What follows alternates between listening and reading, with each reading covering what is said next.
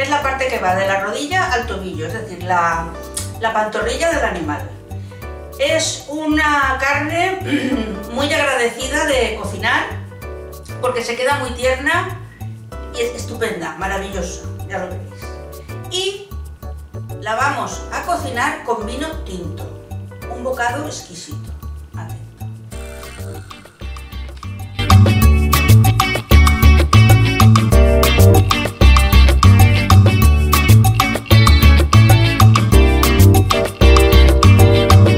Ponemos un buen chorreón de aceite en la olla. Lo vamos a hacer en la olla rápida, ¿eh? Mira, lo primero que hemos hecho ha sido salpimentar las garretas. Les hemos puesto sal y pimienta al gusto. Y las verduras las hemos troceado, no demasiado pequeñas. De, mm, de un pimiento rojo grande hemos cogido la mitad también podéis poner un pimiento rojo pequeñito. Y de un pimiento de los italianos, de los de freír, hemos puesto uno entero. Una cebolla entera y tres o cuatro dientes de ajo enteros, sin trocear. La cebolla la hemos troceado tampoco demasiado pequeña. Ahora cuando tengamos el aceite caliente, lo que vamos a hacer es marcar las garretas, es decir, freírlas pero nada, vuelta y vuelta para marcarlas y que se nos queden todos los jugos de la carne dentro. Esto ya está, vamos a meterlas. Las vamos a marcar y las vamos a reservar. Mirad, ya tenemos las garretas marcadas.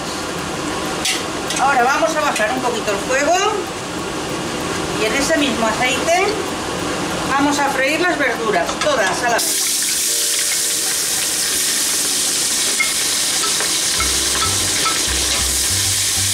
las vamos a hacer a fuego medio bajo. Que nos hagan, pero que no se nos queden.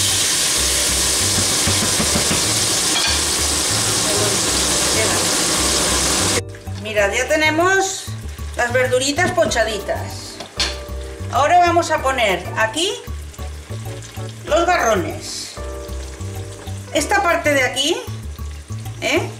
Cuando vayamos a servirlo lo descartaremos, pero de momento lo vamos a poner porque nos viene muy bien para el caldo. Vamos a poner los garrones.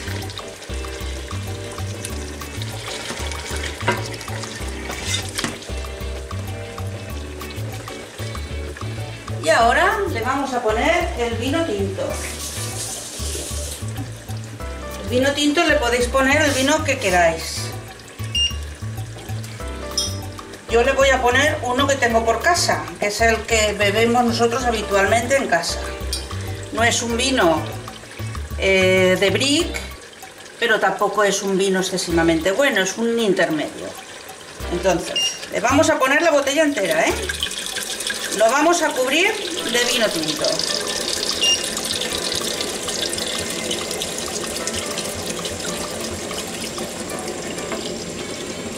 La botella entera.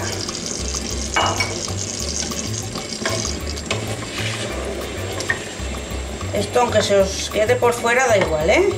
Porque ahora en cuanto tapemos la olla, con el vapor se hace exactamente igual. Y ahora le vamos a poner o bien un poquito más de sal, porque como veréis prácticamente no lleva nada más que la sal de salpimentar las garretas, o bien una pastilla de caldo de carne, lo que queráis o bien un poquito de sal o bien una pastilla de caldo de carne. Ahora cuando empiece a hervir taparemos la olla. Mirad, ya nos empieza a hervir la salsa de las garretas. Perdonad que antes os he dicho garrones. Repasando el vídeo me he dado cuenta de que me he equivocado. No son garrones, son garretas. Ya nos empieza a hervir. Tapamos la olla. Esperamos a que suban los dos anillos, que los tengamos a la vista y a partir de ese momento bajaremos el fuego y contaremos 25 minutos. Mirad, ya han pasado los 25 minutos, hemos dejado que la olla perdiera toda la presión y ya la hemos abierto. Ahora lo que vamos a hacer es sacar las garretas. Con cuidadito de que no se nos rompa porque están tan tan tiernas que se rompen.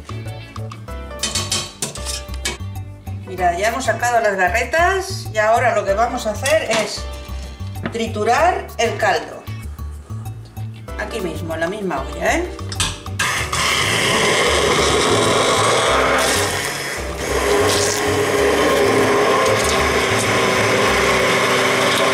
Mirad, ya tenemos triturada la verdura. Ahora hemos puesto el fuego en marcha otra vez. Vamos a volver a meter los garrones, que ya les hemos descartado la parte de atrás. Hoy los garrones y dale con los garrones, las garretas. Estoy yo con los, garrones, no sé por qué. Me emperrón que son garrones y ya está. Volvemos a meter las garretas. y vamos a reducir un poquito más el caldo. Vamos a dejarlo que hierva con las garretas dentro.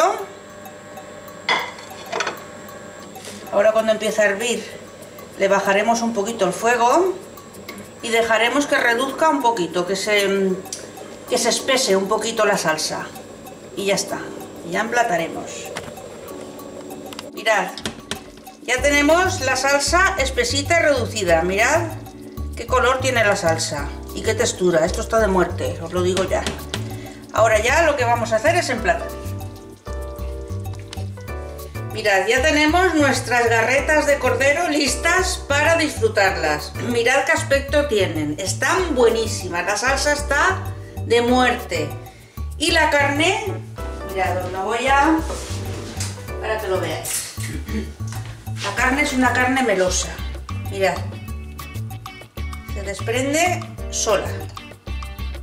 Mirad. O sea, no hace falta ni cuchillo, se desprende sola. Está buenísima. Esto lo podemos acompañar de un hidrato. De un hidrato porque como veréis, el plato hidratos no lleva. Lleva la carne y las verduras. Entonces esto lo, lo, debemos, no lo podemos, lo debemos de acompañar de un hidrato. Es decir, de un buen trozo de pan para azúcar la salsita, que está buenísima, o bien de unas patatas. Unas patatas a lo pobre, unas patatas panaderas o unas patatas al horno. Lo que queráis, pero siempre un hidrato.